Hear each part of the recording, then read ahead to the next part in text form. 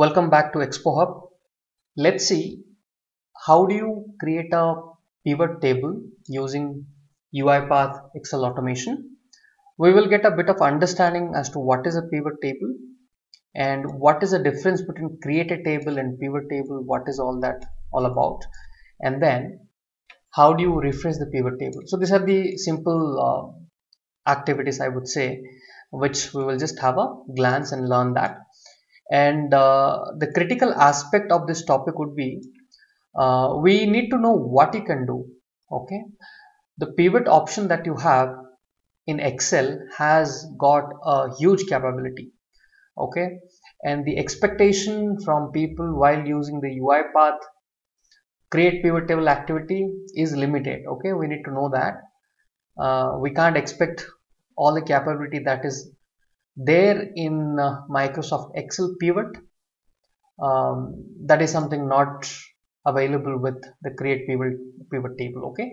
Uh, so I'll just int introduce you to that as to what is possible and what is not. So let's have a check. So this is my Excel file and this has got the customer ID customer name and order amount. Now if I ask you create a pivot table in Microsoft Excel you generally click on insert and click on pivot table and hit on pivot table okay?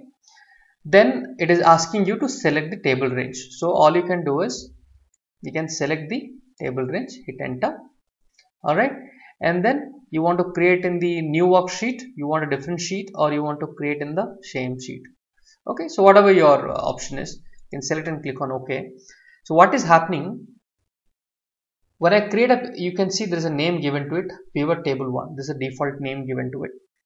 And a pivot table got created. But remember this data is not ready. You know what exactly you want that is something is not ready isn't it? So th that is something you need to customize. You generally utilize this right side panel and customize it. Okay so our expectation with UiPath is to bring you to a page where the pivot table is then table is created. But to customize and see the data is again left. Okay that is not being done through the create pivot table activity. So let's let's understand that first then we will get back to it. Okay so uh, for the moment what i'm going to do let me delete this pivot table.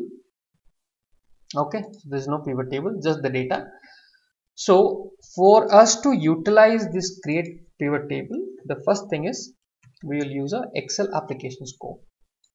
Okay, and uh, point where the file is. So my file is here. Okay, and then you have the option called create pivot table. Okay, now create pivot table when you bring it, you need to always look at the right hand side property panel this is asking for a source table name. What is the table name? So what is a table?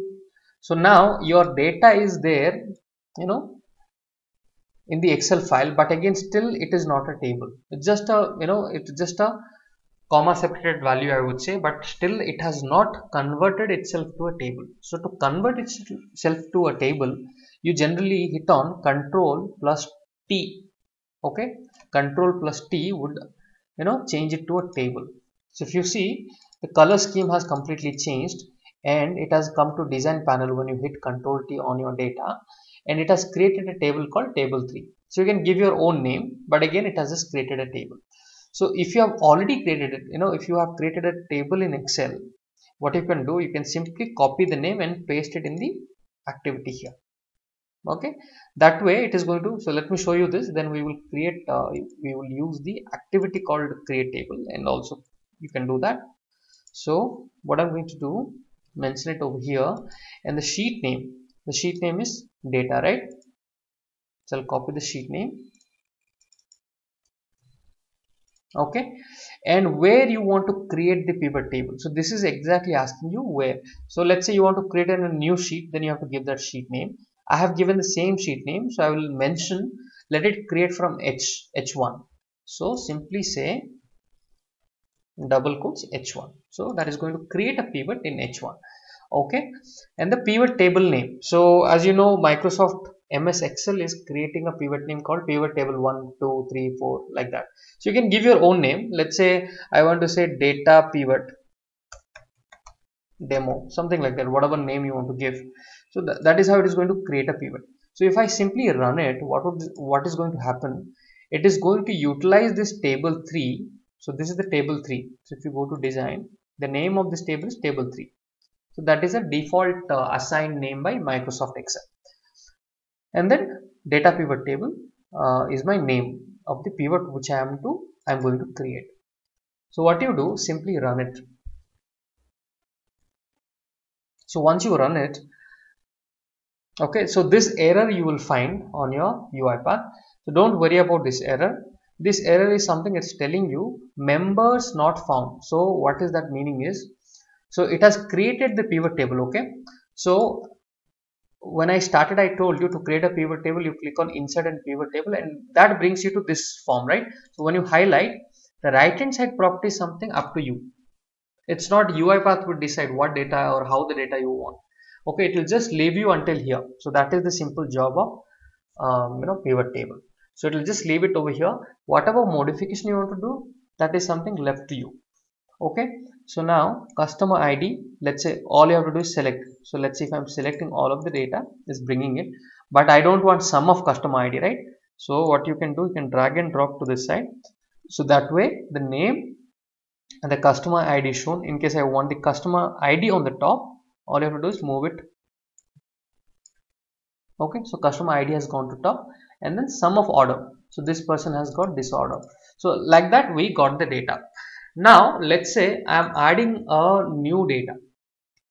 Understanding? So create table you can directly use it from the microsoft excel by control t and use that table name. In case you don't want that all you can do is there's an activity so don't worry about this error. Reason being this is just telling you there is no member found there is no element for for it to create the pivot. Okay. Now if you want to create a table you don't want that to be created in the excel you want to create a table simply use this activity. Okay. Again mention the sheet. The range the range is what? Your range is from uh, you know a1 to c12 right? C12 a1 to c12 and then table name. So you can give a table name. So it is again simple activity. Okay. If you want to refresh the activity refresh the pivot table what you have to do? Simply say refresh pivot table. Okay. Now the pivot table is already created. So you need to i need to omit this from my uh, sheet because pivot table is already there. All you have to do go to the pivot right click pivot table option and here you get the pivot table name data pivot demo. Okay? So copy this. Let's say there is already an existing pivot in your excel file and you would like to refresh that. Because why you would like to refresh the pivot table? Let's say if there's a new data got added that is where you want to refresh. So let's do one thing. Go to UiPath and uh, mention the pivot data table name. And this pivot is there in the sheet called data right? So simply say data all right done. Now what i'm going to do let me add a new customer. Okay. Let's say xyz is a new customer and uh, give some number order amount. Okay. So this is the new um, you know this is the new data that has been added. So if i have to refresh this okay if i have to refresh this data it is not there right? Xyz is not there. What i'm going to do i'll simply run this. So if you see if you once it is run you will find that data got included in the pivot table. So that is the use of refresh pivot table. Ignore the error in case you have got but you can see uh, the refresh pivot table has worked and uh, you got the you know value xyz got added. So that is the meaning. Okay? Refresh that is uh, in excel file you have this data here. Refresh all. Okay? So even that would work so it's just the you know very simple activity guys. Limited options available at this moment. Um, you know uh, let's see if uh, if new additional features comes into pivot table uh, allows us to select what data how i want the row like in excel you have right? Uh, row values and column label all of this. If there is an option coming then I would definitely create a video. But as of now it is just letting me do only this letting me to bring to the page where the pivot table is created in the excel file. And I have to manually go ahead and select. So that is the limited option at this moment. So we'll just wait for the future. If something comes we will let you know. So thank you very much. Have a wonderful day guys. Please do like and subscribe the video. Thank you